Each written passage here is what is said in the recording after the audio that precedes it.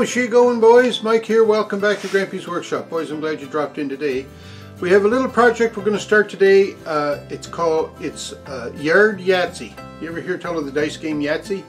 Well, I saw this thing the other day where uh, my uh, granddaughter, Rachel, was uh, on a little bit of vacation with her mom and dad and uh, they were in the yard and they were playing yard Yahtzee or lawn Yahtzee. So I thought, hey, that sounds like a good fun summer activity. So I'm going to try and make myself five dice out of wood. I'm going to use some uh, 4x4 and then just put them in a bucket and you shake them up and you throw them out in the lawn and you add up your scores. You know how you play Yahtzee. Anyway, that's what we're going to try and do. So I have to make five wooden dice or dies, whatever. Let's go try it. So uh, one thing that I really like about this little project, other than it looks like it's going to be good fun playing, is you get to use some more scraps. So I had some old uh, cut off pieces of 4x4 pressure treated posts. So I thought that would be a good size maybe for the dice. But anyway, I'm going to make try to make five dice out of this piece of 4x4. So to get the right uh, dimension, I set up my miter saw with a stop block at three and a half inches.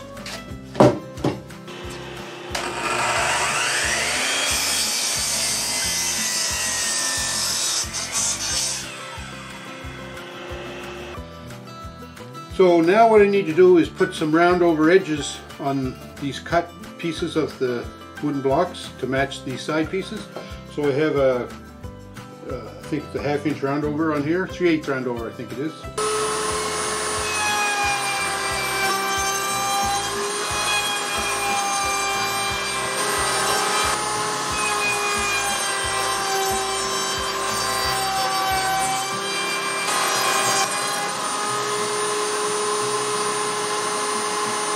Now what I'd like to do is lay out the patterns on these die, uh, or collectively dice.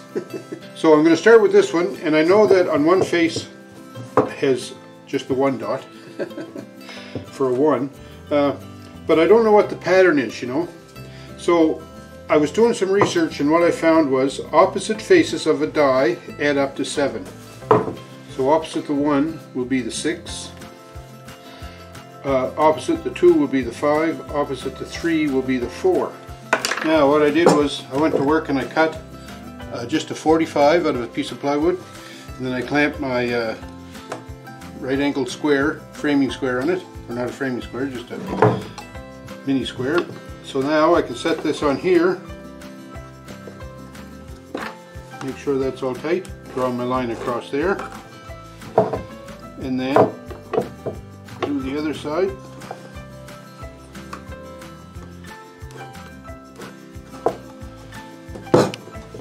I don't think that's going to be too bad. So this is going to be the number one side right here. Alright, so that means the opposite of that is number six. If uh, I find the center again, so many lines on this now it's hard to see the center. If that's the center, then if I draw a line through here, this will be the center line of it. So then if I take half of that, would it be in the center?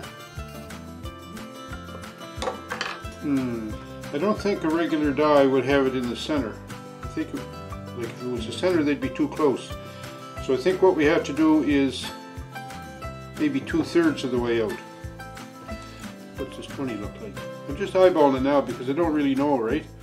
So I'm just trying different uh, dimensions. No, 20 is too close. So I'm going to make it 25. So that's an inch, I may as well say.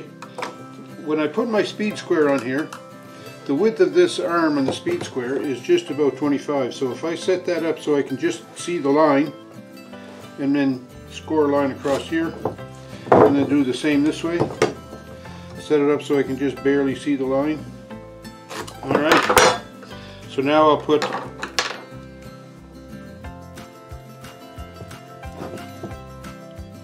through all that trouble to lay them out and then punch the holes in quick. It doesn't make sense, does it?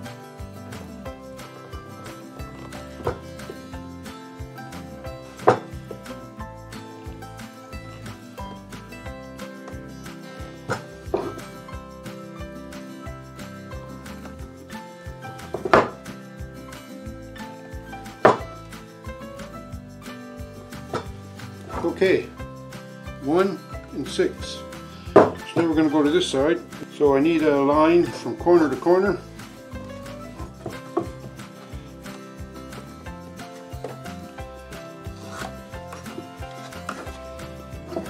And then from corner to corner.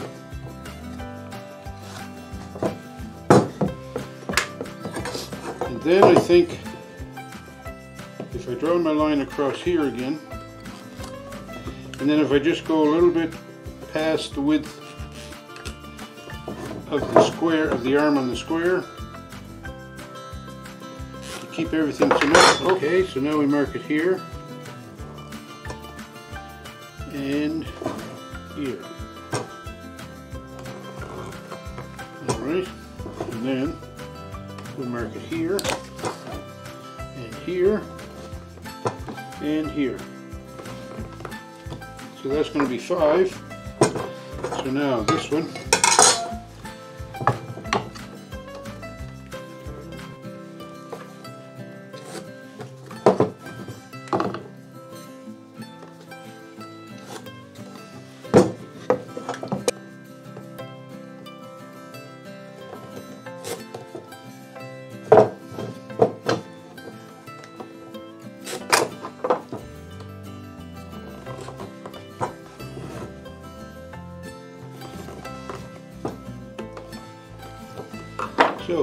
Two and five. So now we need three.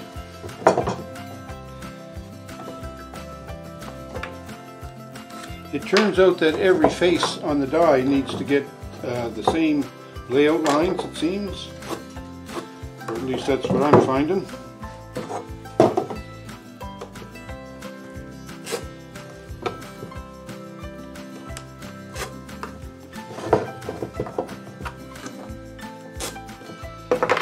Three.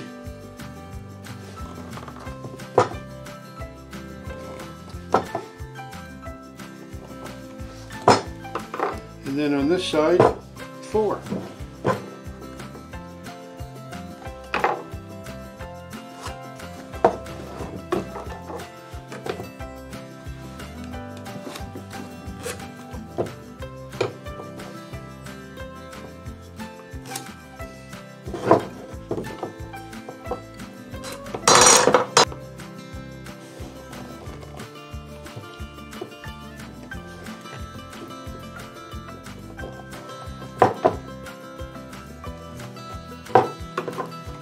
Alright, so all I have to do now is uh, cut out those numbers with a big bit and uh, do that four more times.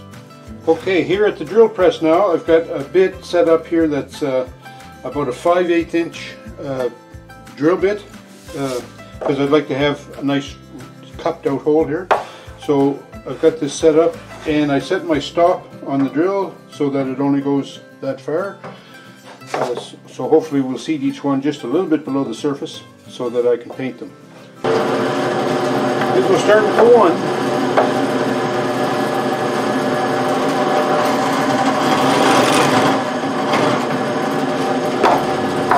Then the six.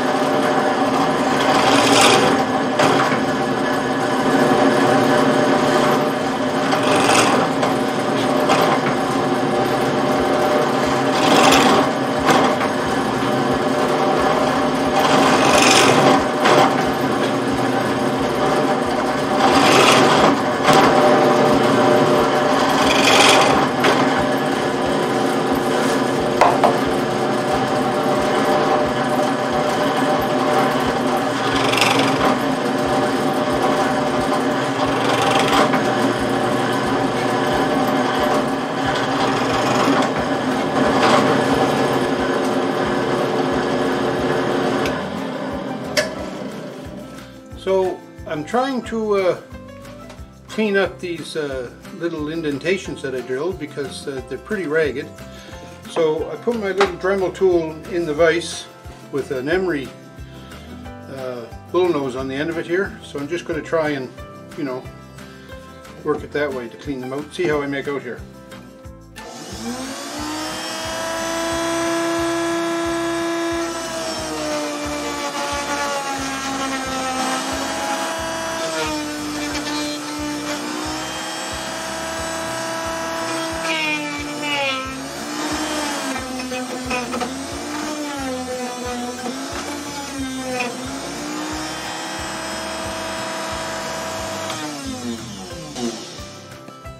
Work out too bad. I think that's going to work good for cleaning out the holes, but uh, I noticed when I was uh, drilling them. Do you see that? Nine. oh well. I have to make another one, I guess. So what I'm up to now is I'm going to paint them. So uh, I want to start just by painting the dots. So I have some black paint and I'm using Tremclad and it's a black enamel. My brush here is uh, pretty stiff. Don't know how good it's going to work, but anyway. All we can do is try, right? I want to put an ample amount of paint in here, but I don't want to really, uh, you know, drown it in paint. Because uh, more than one coat is probably going to be the answer. I made another dice there, another die. The other one, uh, remember the one I made with on the six side had nine markings in it?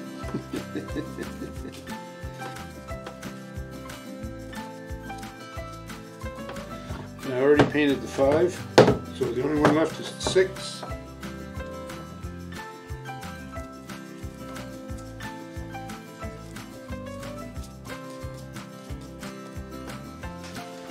So I'm going to continue to paint these and uh, when we finish them all uh, then we'll put a second coat on them so I'll come back.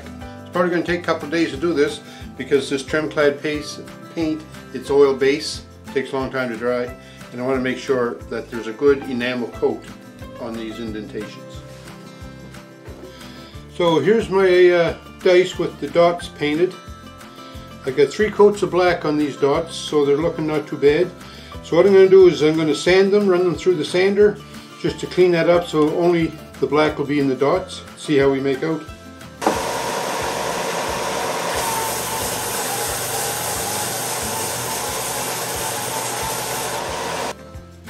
Okay, so I have most of the paint sanded off. It's not turning out just quite the way I thought it was going to, but anyway, here we are. Uh, so now I'm going to do is paint the base coat on it. I'm using Tremclad Gloss White again for this. With this little tiny brush it's going to take forever to paint these. I'm probably going to have to put uh, multiple coats of white on and then come back and do the black again. However, if all it takes is time, I've got lots of that. Anyways, we're going to see how this goes.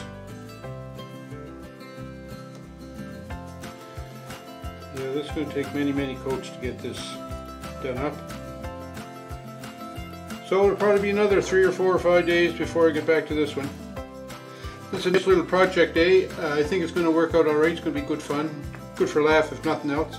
But it's taken a long time to do it. So just FYI, if you're planning on uh, making some lawn Yahtzee dice, set aside a week or two.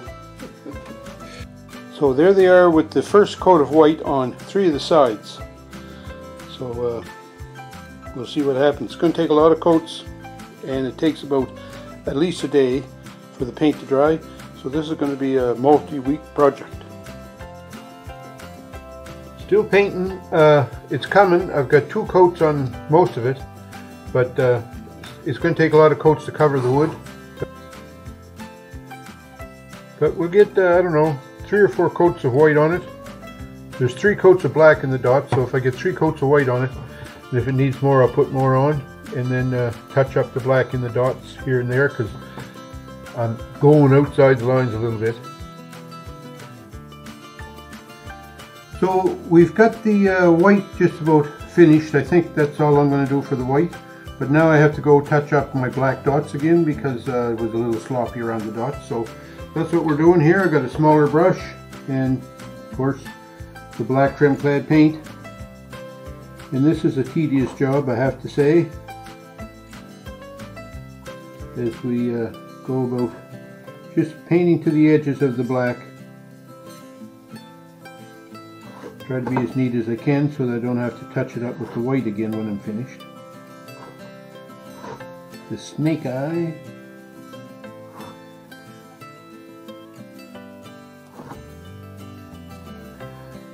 So we just continue like that and uh, see what transpires.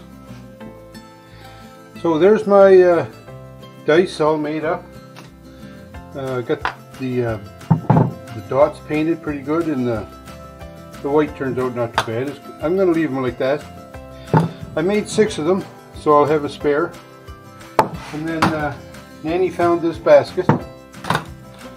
So this is what we're going to use to roll them around. So uh, I think it's going to work all right. Let's go see. So uh, this is the way it's going to work. We're going to put the die in the basket, roll it out, and I've got uh, two sixes.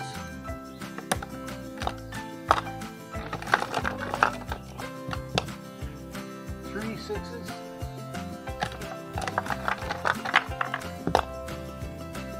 Four sixes, not bad. All right, lawn Yahtzee, what do you think? Do you think it'll catch on? I don't know. Now that the COVID restrictions are lessening, uh, we have a lot more opportunity now to have the kids and the grandkids and whatnot come out to the camp to have a little campfire and some playtime. And uh, we have already, we have uh, like uh, Newfie Golf and we've got Washer Toss, uh, so and horseshoes. So now we've got lawn Yahtzee.